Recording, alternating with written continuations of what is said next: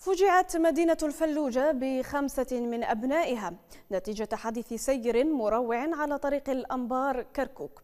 من جهتهم حمل ذوي الضحايا دائرة الطرق والجسور مسؤولية تأخر إنجاز هذا الطريق الحيوي الذي يربط محافظة الأنبار بمحافظتي شمالي العراق. بمحافظة تقول شمالي العراق. مؤكدين أن هذا الحادث المؤسف لم يكن الأول على على ما وصفوه بطريق الموت.